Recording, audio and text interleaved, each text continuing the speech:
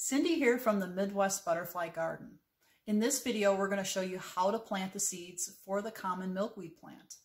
The common milkweed plant is considered one of the only food sources for the monarch butterfly. So if you're considering to do a butterfly garden, it might be good to have some milkweed in the area as a host plant. After I've collected my seeds from the common milkweed plant, I separated the seeds from the pod and now I've designated an area here where I'm just going to go ahead and plant the seeds. It's October here out in the Midwest and this is a good time to plant the seeds because they seem to do better after a winter. So what I've done here is I've prepared an area with the soil and what you want to do is just take some some decent topsoil, either something that you're creating yourself as a compost or something that you purchase.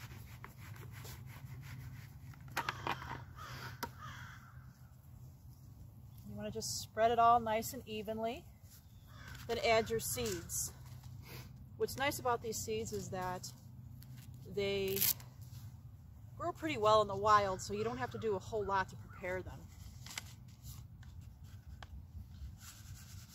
You just go ahead and sprinkle what you need on here. You want to just go ahead and press the dirt down just a little bit to make sure that the seeds are going to be held in place.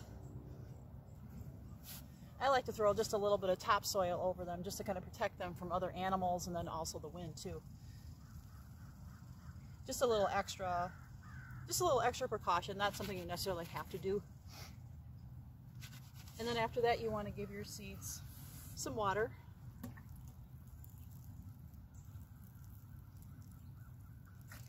And there you have it. If you like this video, hit like and subscribe to my channel. In future videos, we're going to show you how to get an area ready and prepared for a butterfly garden.